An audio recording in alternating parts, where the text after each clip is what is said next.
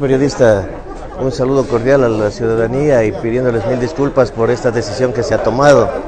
Eh, la transportación, en lo que se refiere a Turi San Francisco, hemos tomado la decisión de suspender las actividades el día de hoy y llevando al pedido de, lo, de FENACOTIV unas 48 horas, ya que la transportación ha sido una de las más afectadas en todo sentido y que estamos al borde de la quiebra. Por lo tanto, se pide disculpas a la ciudadanía para que nos entiendan, ya que también no solamente van en afección a la transportación, sino también al pueblo en general en caso de que haya una alza de pasajes y siga pretendiéndose el alza del combustible. ¿Cuál va a ser la decisión? ¿Paralizarse, tomarse las vías? Eh, ¿Esto va a ser más progresivo?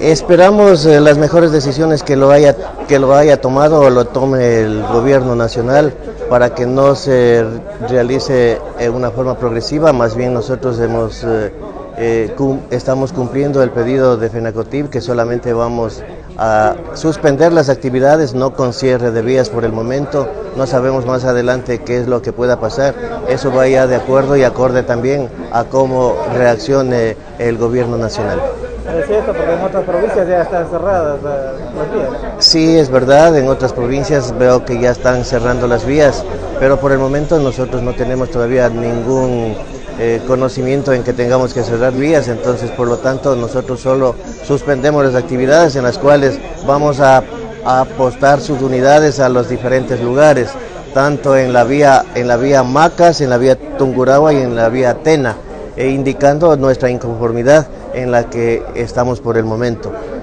¿Qué es lo que ustedes quieren al gobierno? ¿Cuál es el pedido que hacen?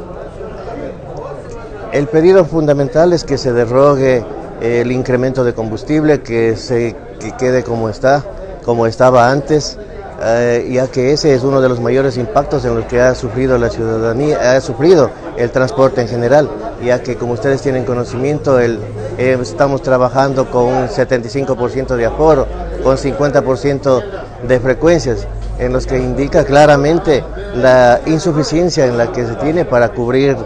eh, las, eh, las deudas, para cubrir todos los pagos que se tiene que hacer en las entidades financieras. Y las entidades financieras que no han respetado las circunstancias en las que estamos viviendo, nos han acosado y nos siguen acosando a cada uno de los socios